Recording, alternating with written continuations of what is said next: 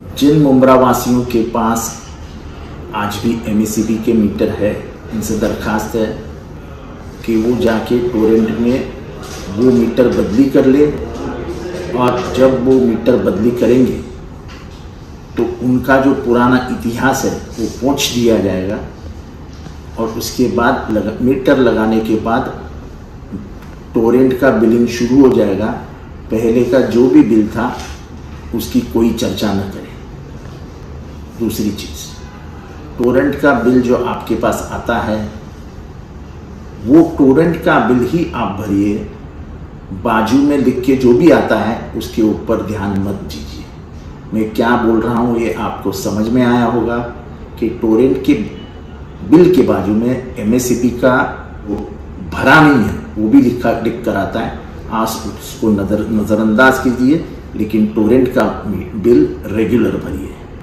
अब जिसका भी पीडी है और वो नया मीटर लेना चाहता है तो उस पीडी वालों को नए मीटर, नया मीटर दिया जाएगा, उसके चॉइस का दिया जाएगा, और उसकी जितनी भी पीडी की अमाउंट है, वो सात हफ्तों में डिवाइड की जाएगी और वो सात हफ्तों में भर सकता है। इसके बाद पीडी के ऊपर जिसका भी विजिलेंस केस है तो आप पीडी की बात कीजिए विजिलेंस की हम बाद में बात कर लेंगे।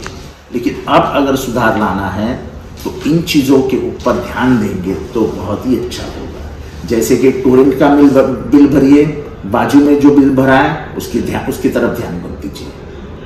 पीडी में आपको सात महीने में दिया है, सात महीने में आपका पीडी आप भर दीजिए। पीडी के साथ विजिलेंस हुआ है तो विजिलेंस बाजू में रखिए, जाके पीडी भर के आइए।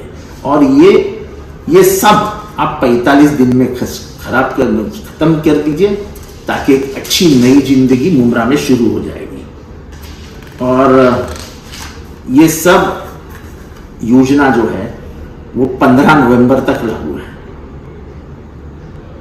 मैं फिर से एक बार दो, दोहराता हूँ। एमएसीबी की मीटर है। बाजू में निकालिए टोरन का मीटर लगा लीजिए। टोरन का बिल आना शुरू हो जाएगा एमएसीबी को भूल जाइए।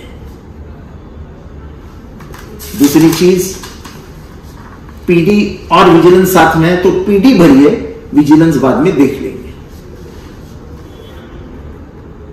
जो भी पीडी है, बिल है, उसको सात महीने का बंटवारा किया जाएगा। आप मीटर ले लीजिए, सात हफ़्ते में उसका बंटवारा किया जाएगा। और ये सब आपको 45 दिन में करना